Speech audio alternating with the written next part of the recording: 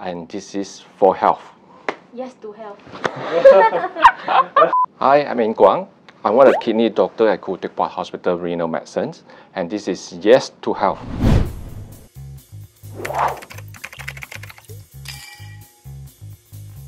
Okay, so alcohol actually is a very potent diuretic.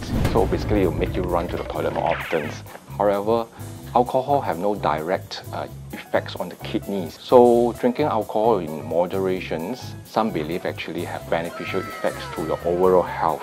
However, if you drink excessive alcohol, it will damage your liver, your heart, and then this will indirectly damage your kidneys as well. Kidney stone is actually a small crystal that forms in your kidneys. You're looking at the microscopes, actually, it actually looks like diamonds. Uh, but this kind of diamond is something that you don't want to have. Most of the time it's related to your dietary habits. You eat too much meat, too much salt, and didn't drink enough water, then you can form these stones. Dialysis sounded very scary, but uh, actually it's nothing more than uh, any kind of therapy that you have there's currently two major forms. One is blood dialysis, the other one is water dialysis. So dialysis is not only option. In fact, the first thing that we usually talk to you about is whether any suitable for kidney transplant. And really, if you are not suitable for kidney transplant, only then we will bring up dialysis.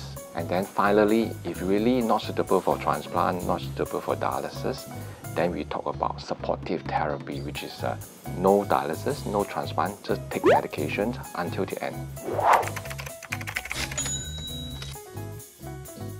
Well, if you go to market and buy kidneys uh, from animals, but you want human kidney, it's very expensive. But it is illegal anywhere in the world actually.